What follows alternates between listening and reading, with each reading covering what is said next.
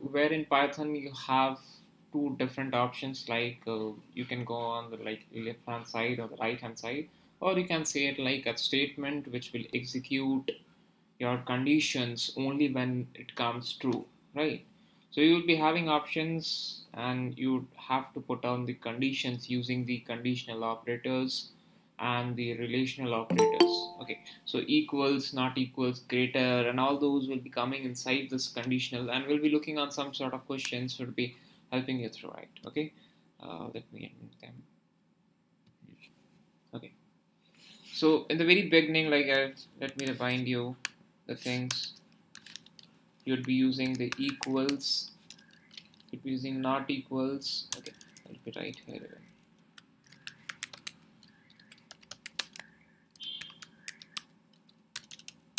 or even the sign. You'll be equal equals to not equals to greater than less than greater than equals to less than equals to and all these stuffs okay? So there are three type of row control statements in python. The very first is called as if the next is your else and the third one is a combination of your if and else which calls elif okay? And that is also you can say as like someone which can go with the statement or like which which can um, go with the condition search for the conditions okay? So that will be learning okay?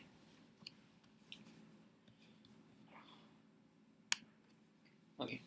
So unlike like in the if statement the very basic things i'm giving you example right? This is a statement which execute only if your statement condition is true condition is true like if i say 100 is greater than 3 so this is a true statement. Or you can say until and unless the boolean conditions what the output are it comes true you can say it has to be true right? So until and unless this condition comes true we'll be having it as true okay? So what do you say that if statements are the statement which will execute only if the statement conditions are true? All right so uh, let me write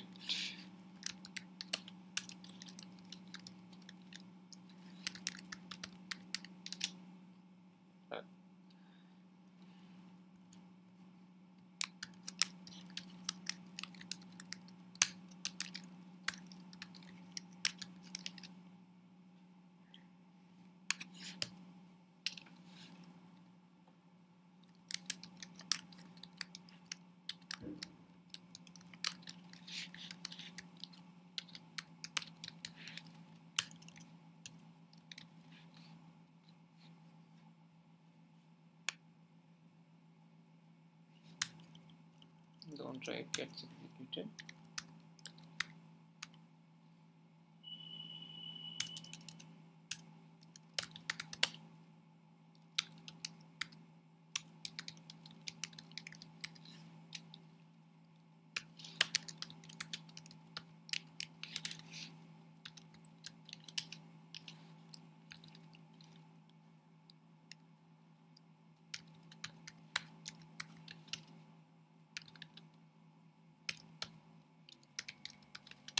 condition is there then you give a colon.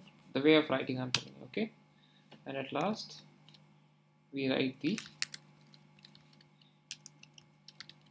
starting or you can say the indentations. Okay? So all these are there in the statement okay? So first you write a test expression.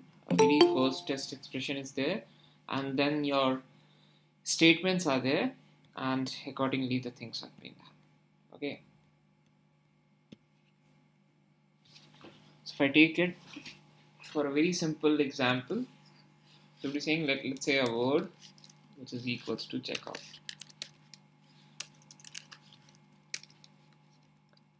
Okay? If I say if the word is equal equals to checkout sorry. Then give a colon right? So what are the things? If keyword is there then the condition is there. Like if this is equal say, if this is equals to this this is the condition right? And the colon is there and then the indentation. Indentation is something like if I give the line numbers as soon as I click enter there should be one tab space. Okay? Or you can say five uh, space bars. Okay so if word is equal equals to Jacob print if statement worked correctly. Okay? That's it. Very simple thing. The word I have set as Jacob now if this word is equal equals to Jacob print this is this work correctly. That's it. So I get the output. Obviously I'll get it. That is if statement worked correctly.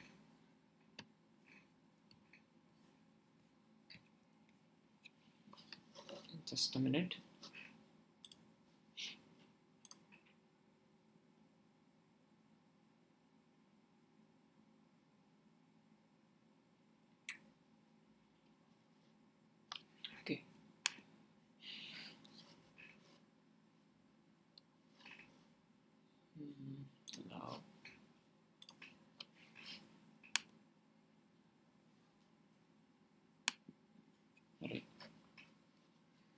let's see.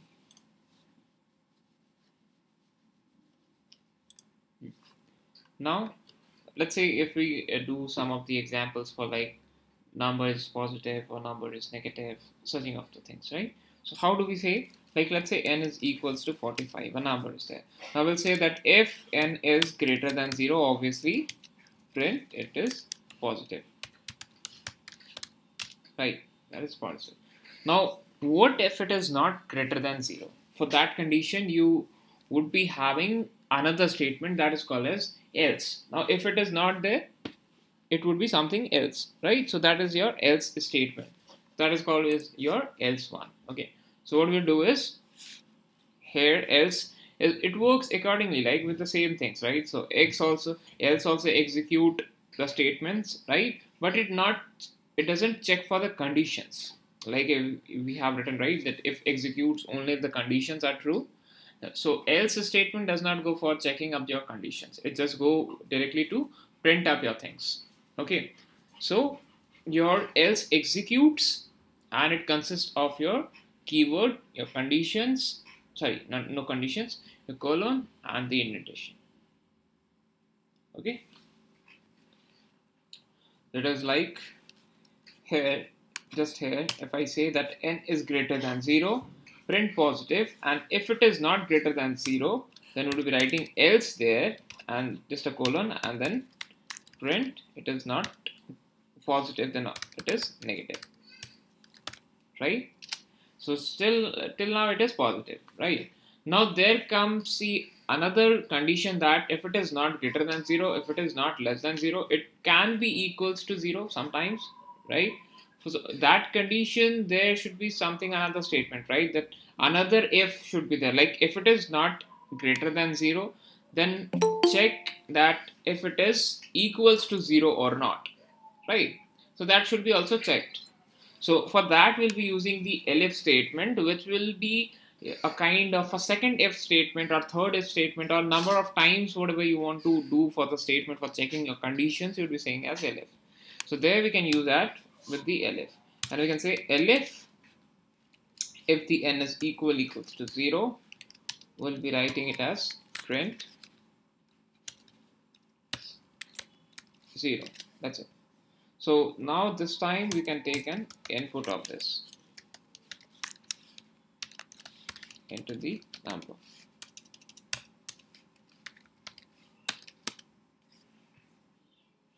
Okay run this let's say number is uh, minus 70 89 whatever.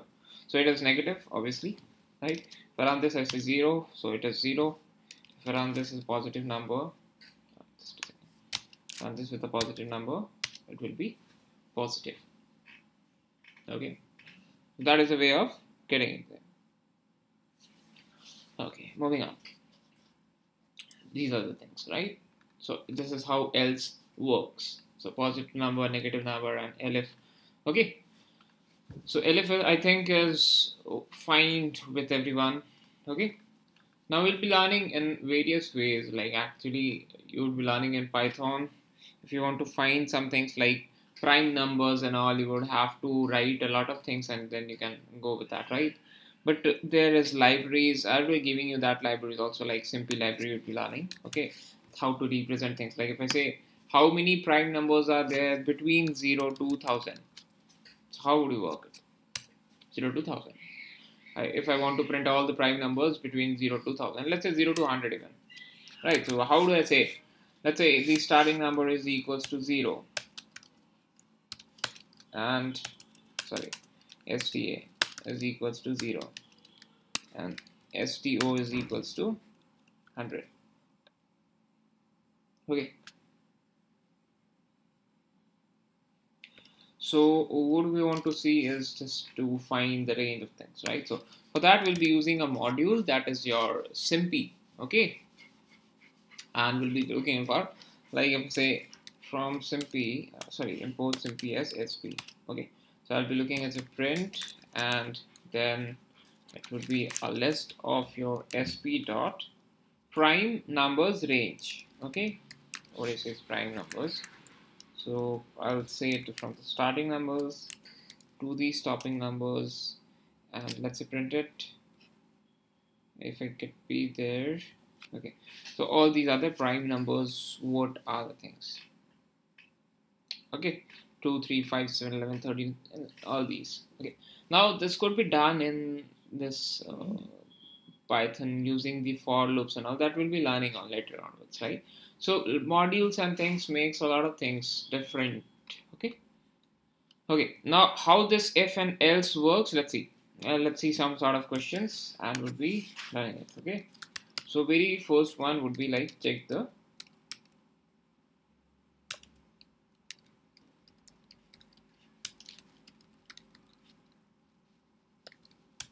the integer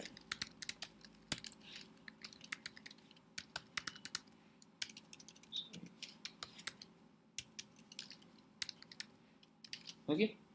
Now let's say n1 has to be first number.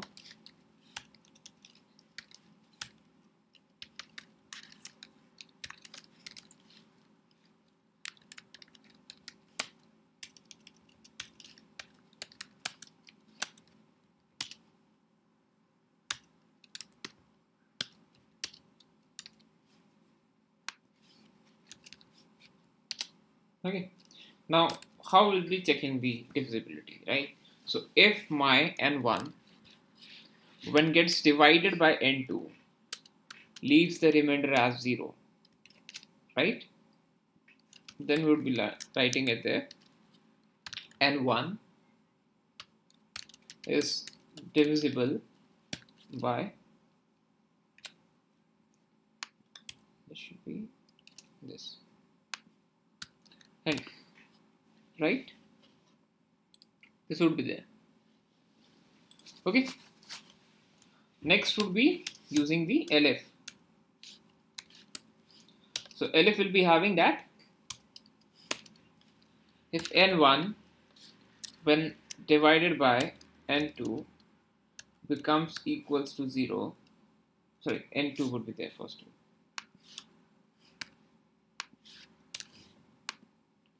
0 then we'll be printing. Same thing.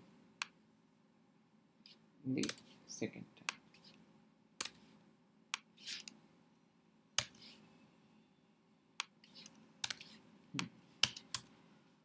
And at last else will be used. So see in else you don't write any conditions and all you just printed the things right? so we'll be writing the same thing.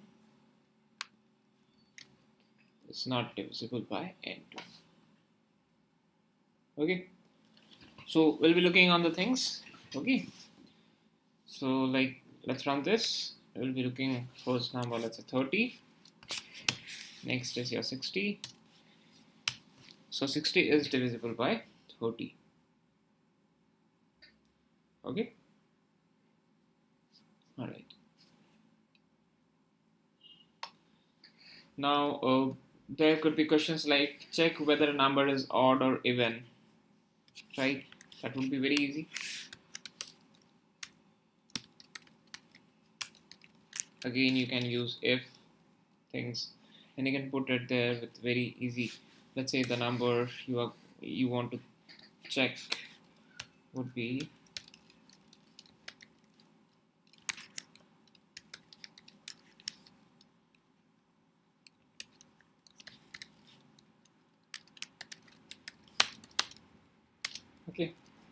so if your number when divided by 2 becomes equals to 0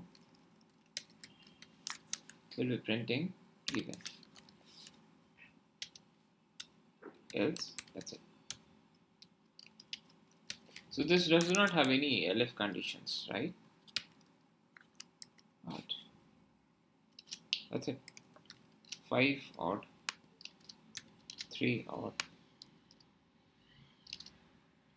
2 even 0 even minus 3 odd. Okay? Like these things. I hope this would be clear. For any doubts you can write in the chat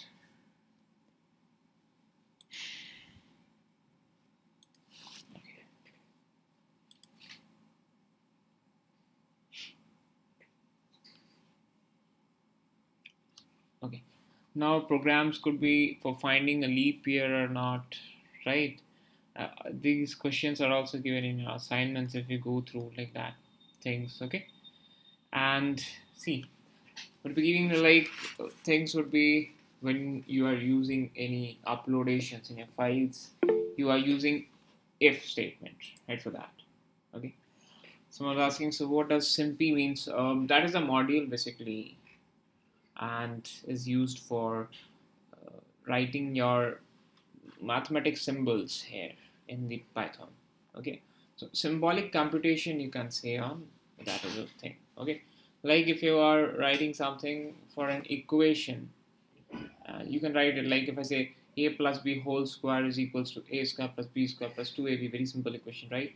So you want to represent it like when you are making projects sometime you have to use formulas that is basically for machine learning experience and data science right? So they use formulas so which formulas they are using you have to represent there print over there right? So that for that we use sympy. And it makes the thing uh, very simple actually if you if you go for uh, calculating the things like in symbolic forms right? In numerical forms if you want you can use numpy and scipy and in symbolic you can use sympy right? So let me show you an example. If I write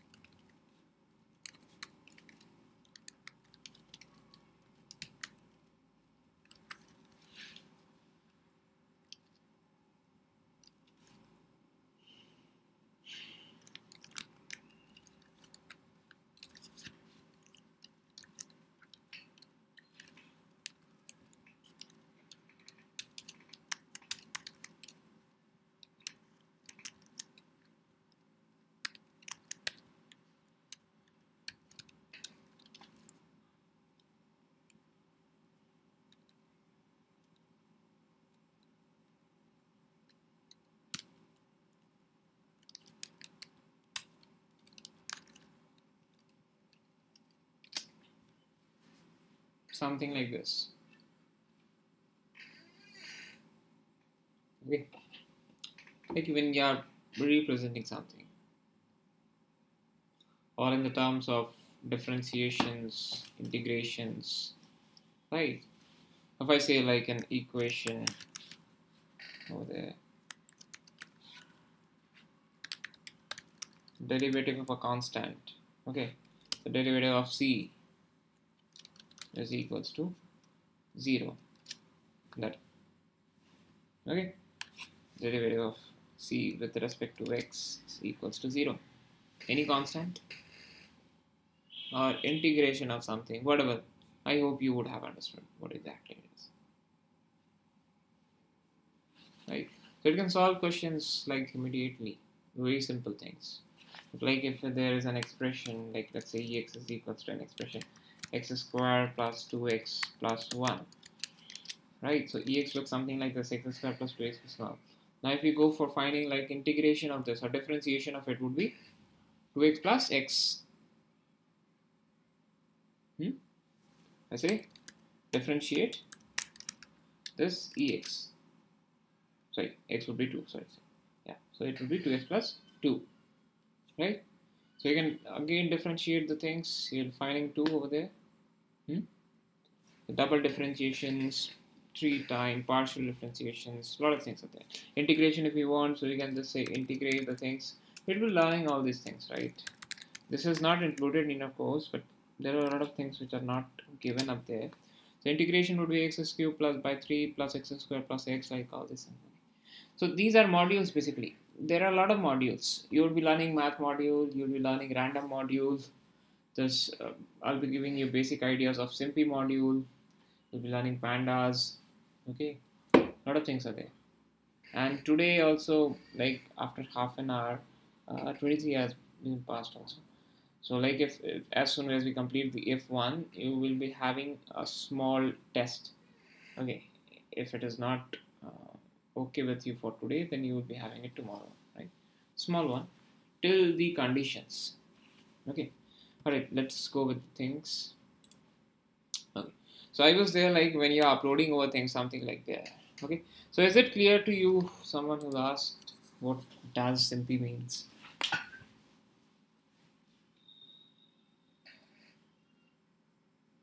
Who's there? Abhisham. I hope it would be clear to you.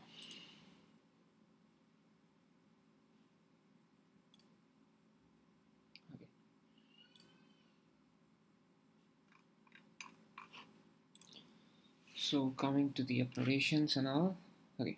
Let's say you want to upload some documents.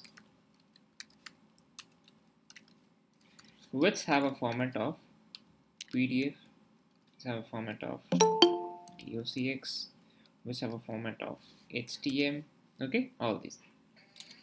These formats are there in your document right? You you have to upload form document of these formats PDF, docx and HTML. Now you have a user upload there.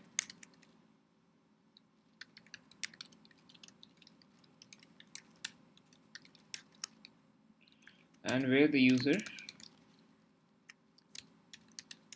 would be entering your file name. Okay. Now see so you have to check whatever the file name would be there with extension you would be saying, right?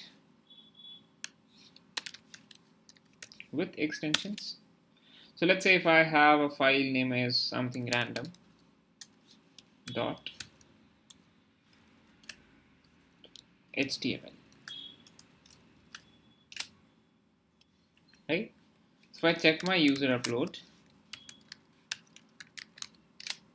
So I get random.html. Now if you remember, we have learned something.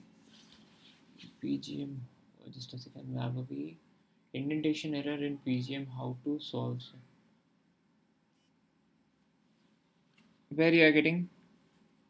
Uh, do one thing, take a snap of that error, post it in the group. I'll check it in the WhatsApp and we'll let you know send in WhatsApp in the group. I'll see it there.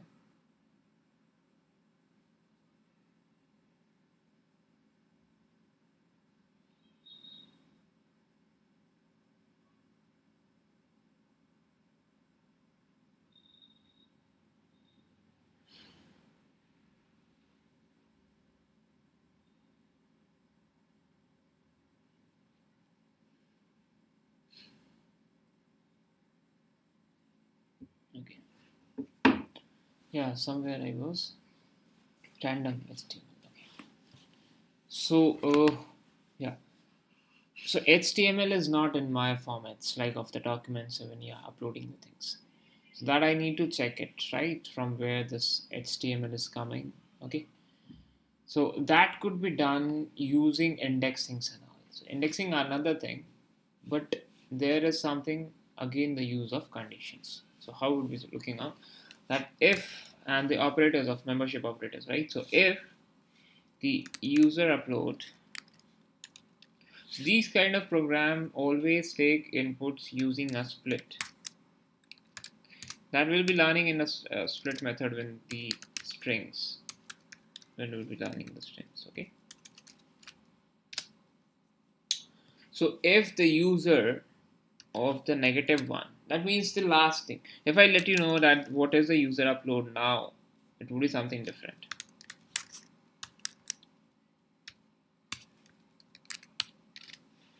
Now it is a file name and then the extension name. See so I have splitted the term of random.html with this dot. So one part is random and one part is HTML.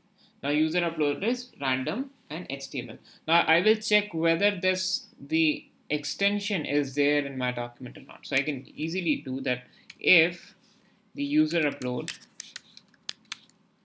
of the last element that is minus 1 is equal equals to or if this user uh, element of the negative one the last one lies in the document formats then would be printing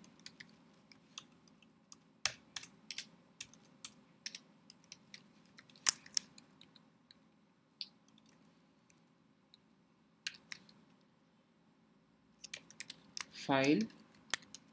Uploaded successfully. Or else we'll be just printing the error. Right so uh, we'll be printing extension error. Yeah, or you can say file error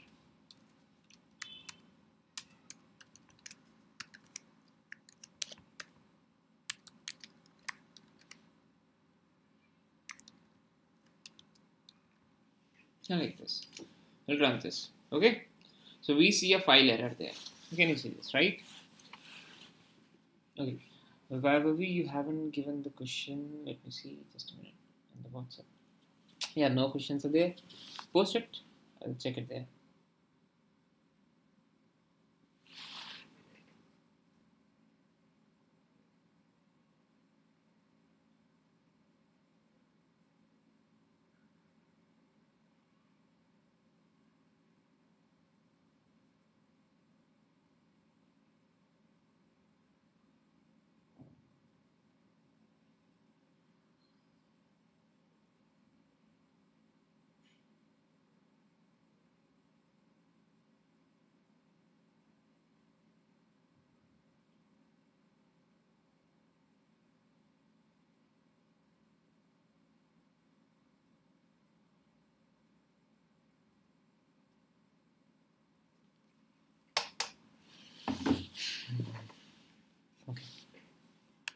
So this is how. And sometimes now when you log in on some areas like if you're working uh, if you're logging in uh, yahoo domains google domains any any of the websites right? So what they have they have a username they have a password right? This passes something else okay? This is of no use actually that keyword. Now so let's say if your email i'm taking from the emails right? So let's say your email is something like if I write my one.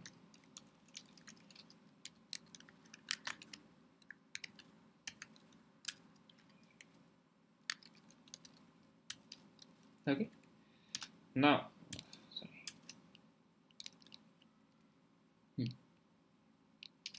now if I want to check my username so how will I do? Again the same things. If the email or I need to print it just. What I'll do is print the email dot split with at the rate. So I'll be getting my username. And then after splitting print the first one. First one always comes with a zero. So this is my username. And which domain I'm using? Gmail.com okay so split actually works with a lot of things, right? If we want to know exactly the working of the split, we can do using the help function of str dot split. So you see, it basically returns you a list of words in a string using separator or a delimiter string. Okay, so you can find and the maximum number of splits to do is negative 1 that is default value means no limit is there. Okay? So you can do number of splittings you want.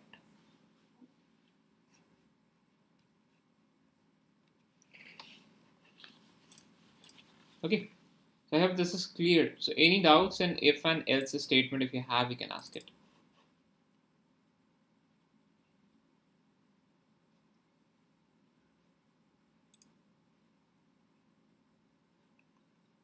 you have also been given assignments to go with. Right so you can easily go with the things. Okay. Yeah so I was telling something about the test. Just a minute. Loops are a different thing.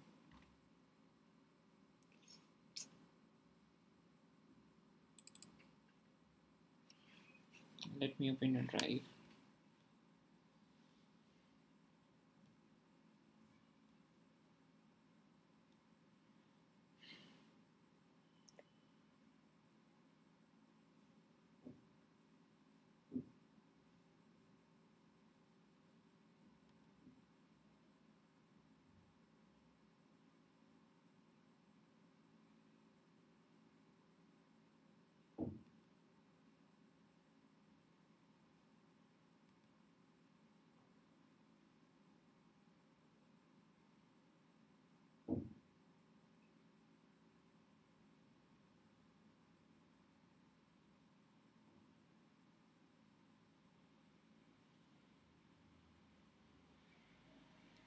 okay so yeah. This is your test questions. Okay you can give it today also you can give it tomorrow also. It depends on you what you want. Tomorrow actually you give it tomorrow. Today you go with the things with the if things and then these are the questions. Okay so you can go with this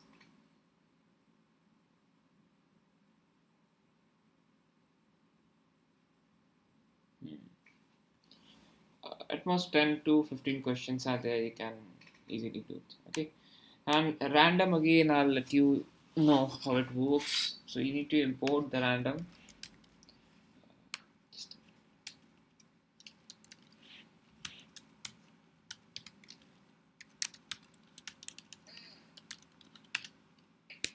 And mostly like if, if it asks in the questions to generate a pin code or something like that you would have to give it ranges right? So you can use random dot or rand range.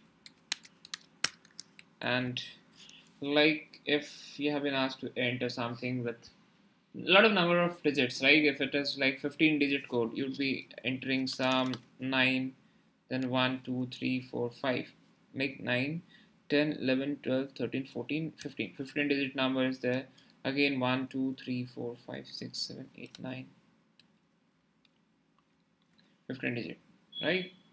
So you get a number between there for 15 digit and that could be a code okay? So these type of questions would be there all right so i hope it would be better like for you. Those things are easier there okay? And for individual topics you would be given some more assignments right? So to go through with that things that will be given to you later on but okay? So individual topics also have some questions like if I share this.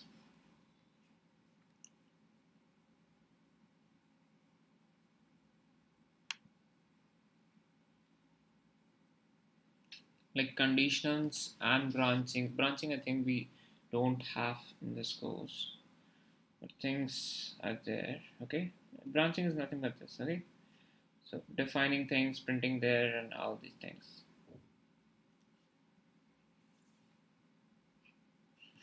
comparisons. So like this things will be there in a short things like comparison operations find the value of i that produces a true result. Right so i is equals to something i is greater than 100 okay so what would be the value of i when it produces a true result? Or find the value of x that prints the statement this is a so what will be the value of x and find the value of y? That produces a true statement. Another using the logical operators too. Okay? Like that. And you have also learned the uh, programs like writing your first programs and all with the basic things, right? Hello world, how to write hello world, then how to run the things, okay? Then comment and all, okay? So these would be shared to you actually. So I'll be sharing all these things, and you need to. Uh, how many of you have submitted some assignments? Eight, three classes we have done, like four, four or five something. So how many assignments you have completed? Till now, conditions would be left and right because conditions you would have to start today.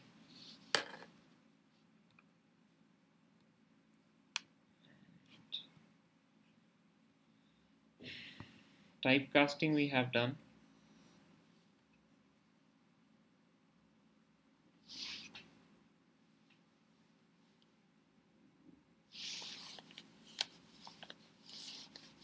casting this into an integer then to a boolean.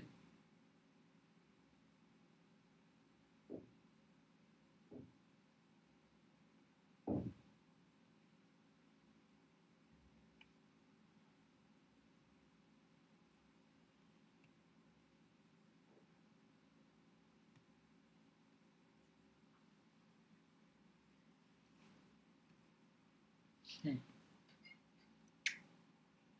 all right so uh,